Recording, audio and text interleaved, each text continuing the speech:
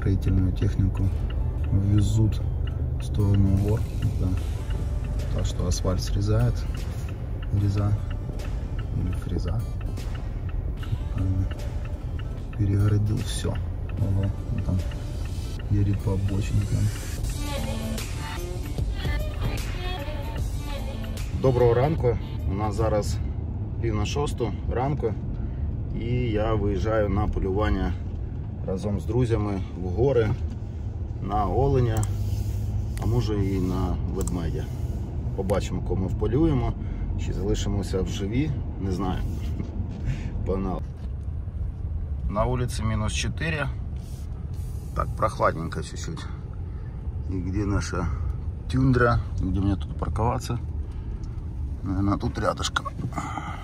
Ну, как у них красиво. Домик украшен. Все, приїхали мисливці. Ще не доїхали, але вже в Тім Хортон заїхали.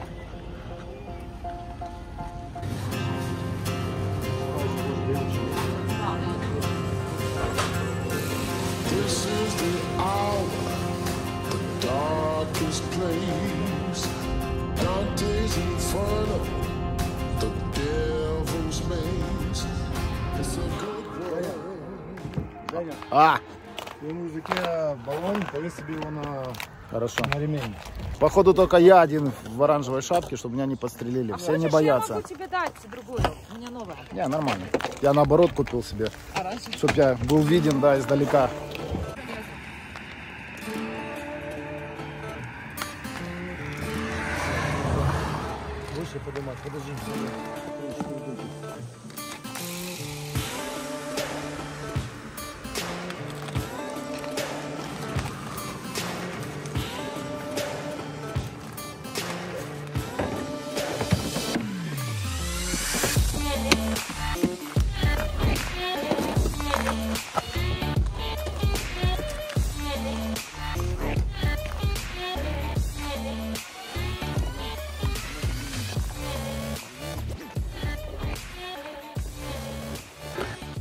Наши конкуренты приехали. Ложи, ложи себе, Угу. Що це таке, а? Nissan Z, я надеюсь? Серега, что за у тебя за модель оружия, скажи? 300 винчестер Магнум. Еще раз? Это Sako, 300 винчестер Магнум. Ага. Калибр? 300 винчестер Магнум. 300 винчестер Магнум. Давай, Короче, показывай. Вытаскиваешь, вытаскиваешь это, блин, с чехла, блин. Ага. Снимаешь предохранитель. 2-3 метра до, до медведя нажимаешь. Мгм. Не нажимаешь и держишь, а такими... Пшик-пшик. Пшик-пшик, Пульсивными, понял, АБСными движениями. Самое главное бежать, самое главное. Мне дали самое страшное оружие. Спрей от медведей. Бэр спрей. Инструктаж провели. Скоро будем выходить. А выиграла так. Что такое так? Ну так это разрешение А, э, так. завалить алка. Элка? Я понял. Мой, мой, это мой так. А где ты его выиграла? Что, что, где? Да. А, ну это специально такая лотерея есть. А, а так, а так вообще сколько это стоит? Э, я уже не помню. Где-то в пределах... По-моему, это бесплатно, да, Сережа?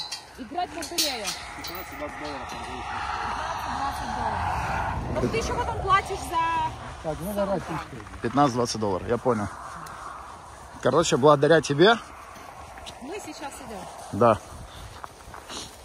И благодаря тому, что выиграла, тебя взяли с собой. Я могу остаться дома.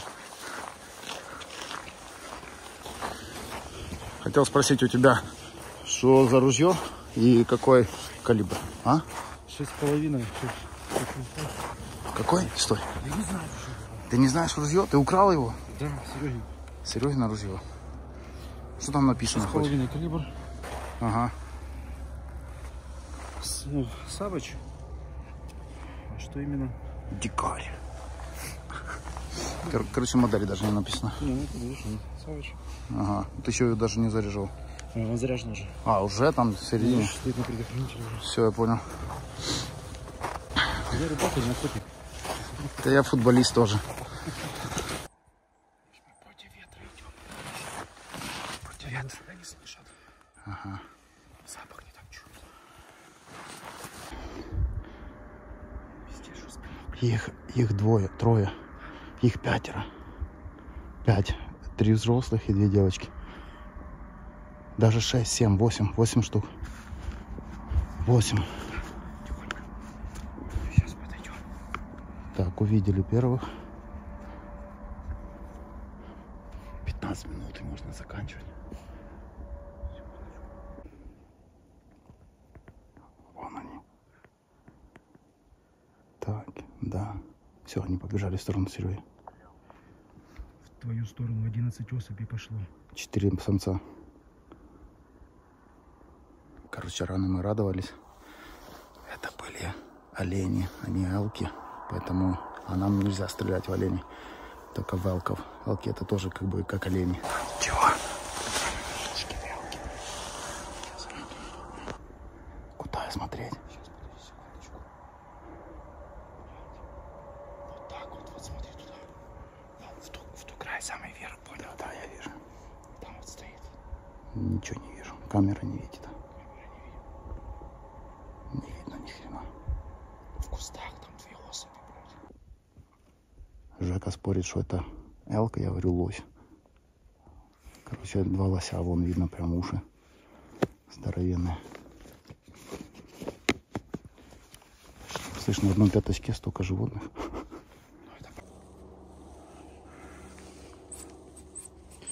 Ветра практически нету. Да. Короче, тактика. Часть группы пошла на юг, мы пошли на север. Обходим.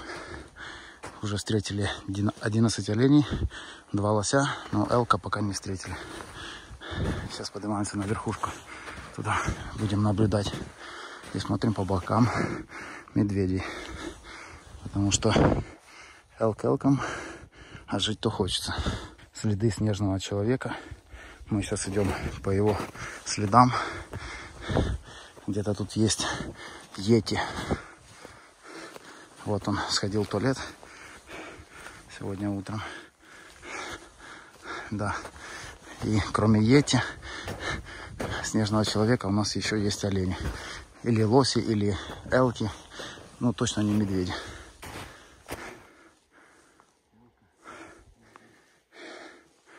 Парнокопытный, короче. В елочку вырезали.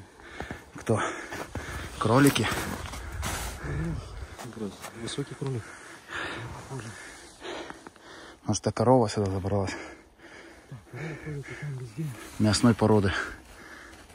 Мраморной. Ну, сейчас зима, их нету. Фермеры повыгоняют.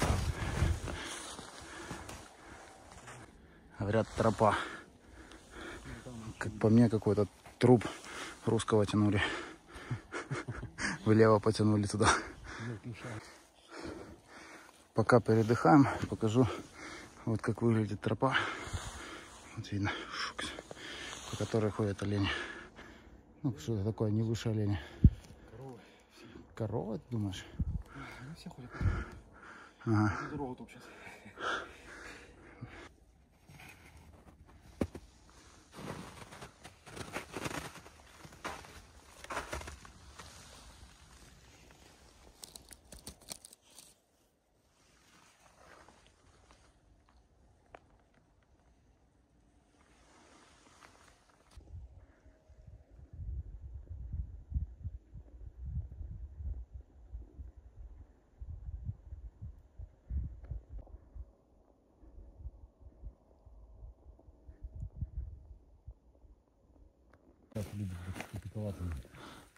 Сергей, хорошо, потому что если они туда выйдут, оттуда что-то выбежит в нашу сторону, это будет хорошо. Нам так далеко ходить не нужно. Консилиум целый. Короче, наша задача сидеть тут и ждать. Подождай пока пару минут, минут 15-20 подойдем, бля. Пока не клюет. Там есть три оленя, внизу ходят. Канадский, канадский. Канадские олени. Двухногие. Двух парнокопытные двуногие. Парнокопытный. Рогатые двухногие, да.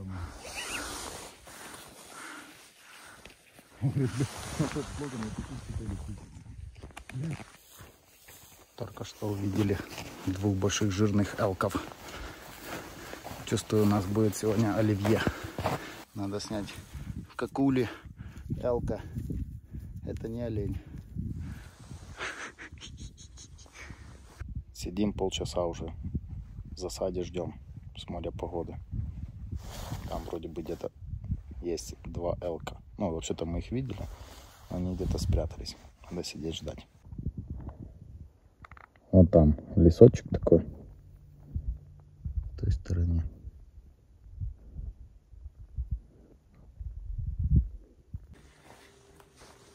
Ничего сегодня не подстрелили. Там охотники два раза стреляли. Слышно было.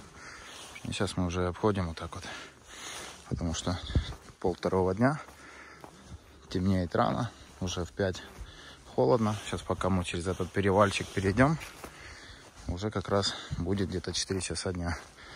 Пол пятого. Уже тут будет холодно. Увидел он Элка стоит. Коричневый один. Вон второй. Настаиваю, что это корова, но я говорю Элк. Короче, оставили камеру.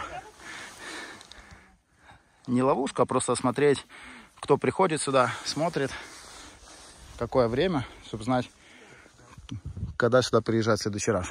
На Элка, медведя. Такие корни красивые. Повалилась старая. Ух, его нельзя трогать. Public land. Помнишь, Женя, мы с тобой ходили на медведя туда? Да. Это уже public land. Понял? Public land никого не надо спрашивать, ты идешь и все, блин. Crown land называется. Оно и так, и так правильно. Land, Public Land, это одно и то же. Не, если у тебя есть знакомые фермеры, конечно, спрашивай, блин, а мы будем...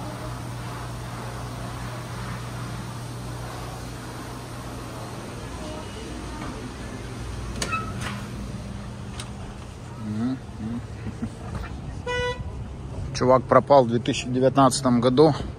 До сих пор ищет. Уже 4 года прошло, 4,5 года.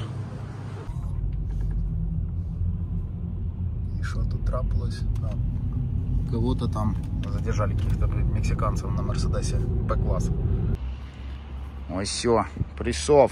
Иди, бананчик будешь? Иди, банан. На, на, на. Злякався. Ладно. Пішли далі працювати. Це так виглядає наш факультет точного землеробства. А, ось о другий. Алло. Побіг. Два. Може ще є? Нема. После первого моего похода э, с ребятами, да, я решил прикупиться сам, потому что я практически все вещи использовал их. А, Они мне дали попользоваться. Ну и вот я могу показать, что я пока купил. Купил а, основные такие, да, которые потянули у меня вещи. Это ботинки. Фирма Handshield.